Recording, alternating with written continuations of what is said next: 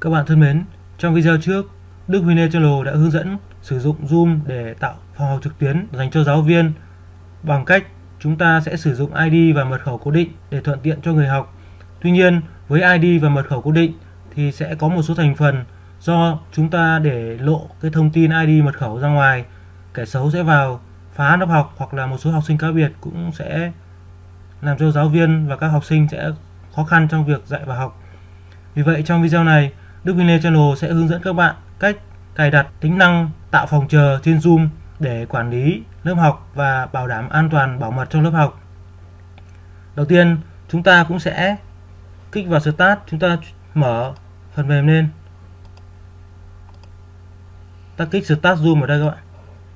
Cái này trong video trước thì tôi đã hướng dẫn rồi. Thế thì ta sẽ vào cái phần Schedule đây để ta cài đặt cái phòng chờ cho Zoom. Ta kích vào đây. Sau đó các bạn kéo xuống bên dưới ở cái phần Advanced Option đây các bạn. Thì nó có các cái lựa chọn.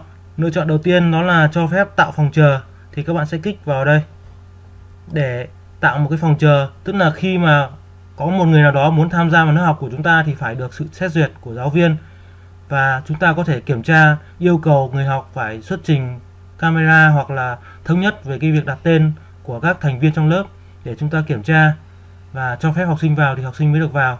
Thì đấy là chính tác dụng của cái chức năng tạo phòng chờ như vậy.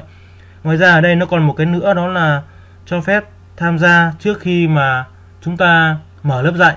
Bởi vì là một số học sinh thì có hỏi tôi đó là, khi mà giáo viên không dạy thì em không vào được. Thì đây là chính là do chúng ta không tích vào chức năng này. Chức năng này thực ra nó cũng không quan trọng lắm. Cũng như là khi mà chúng ta không dạy mà học sinh vào thì cũng chỉ vào không thôi chứ không không không có một cái khả năng học được. Đó thì các bạn có thể tích hoặc không tích cái này cũng được. Và sau khi các cái ID và mật khẩu chúng đã chọn cố định như thế này xong rồi thì các bạn sẽ kích vào schedule để lưu cái cài đặt của chúng ta. Đấy các bạn lưu ý nhé.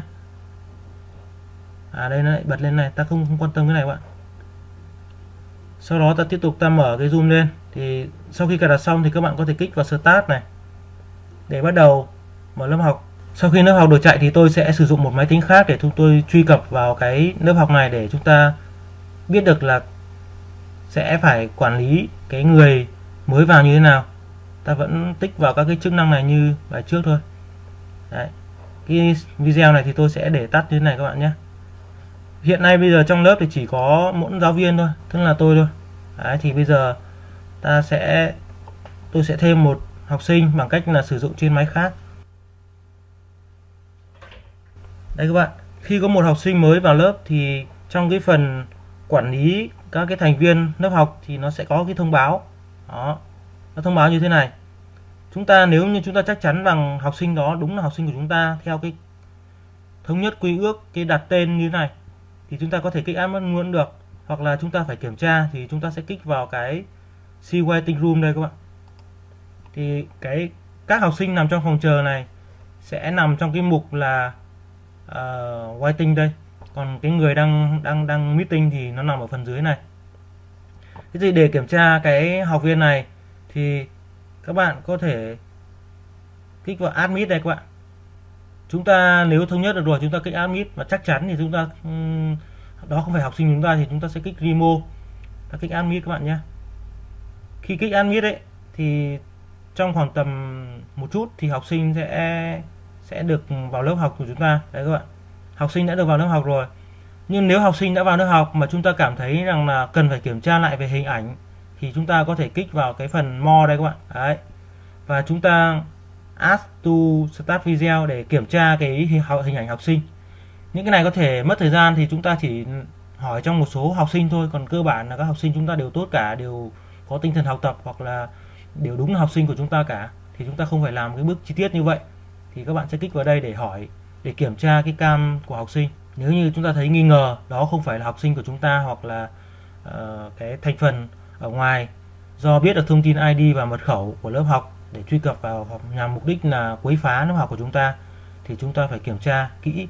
Đây các bạn. Đấy như vậy là khi chúng ta hỏi thì nếu như học sinh ấn nút chấp nhận trên cái máy tính của học sinh ấy là thì nó sẽ hiện cái camera trên cái màn hình chính của chúng ta. Đấy thì nếu như mà một lần nữa đây là một cái bước mà à, xác nhận thứ hai bước thứ nhất thì đó là chúng ta dựa vào cái cái thống nhất tên đặt tên của học sinh. Cách thứ hai là chúng ta kiểm tra qua webcam của học sinh để kiểm tra hình ảnh. Nếu như không phải thì các bạn có thể kích vào đây này. Chúng ta sẽ cho học sinh về phòng chờ thì chúng ta sẽ kích vào nút put in waiting room đây. Còn nếu như mà gỡ bỏ học sinh này gỡ bỏ được học sinh này thì lần sau học sinh dù có ID và mật khẩu cũng sẽ không được vào được phòng chờ của chúng ta nữa.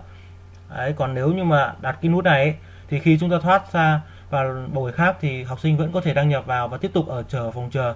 Bao giờ chúng ta cho vào thì mới được vào. Thì đối với người lạ thì chúng ta sẽ chọn cái nút remove này. Còn đối với những học sinh cá biệt mà chúng ta tạm thời là cho học sinh ra ngoài thì chúng ta sẽ đặt vào cái chỗ chế độ là put in waiting room. Đấy, ví dụ đây không phải học sinh của tôi thì tôi remove luôn. Ví dụ như thế. Đấy thì lúc này thì trong lớp của chúng ta là chỉ còn có một người thì đây tôi lấy trường hợp ví dụ là có một học sinh vào lớp thôi thì đó là cái hướng dẫn, cài đặt, phòng chờ trên Zoom để bảo mật và tạo cái không gian an toàn cho lớp học để giáo viên và học sinh có thể dạy và học một cách an toàn. Xin chân thành cảm ơn các bạn đã quan tâm và theo dõi video từ kênh Đức Huy Lê Channel. Nếu như các bạn thấy video này hữu ích thì hãy kích vào nút đăng ký theo dõi kênh và kích vào chia sẻ video. Ngoài ra trên kênh Đức Huy Lê Channel thì tôi có rất là nhiều những cái hướng dẫn về dạy học Excel cũng như là tin học văn phòng thì các bạn cũng thể tham khảo thêm. Xin chân thành cảm ơn.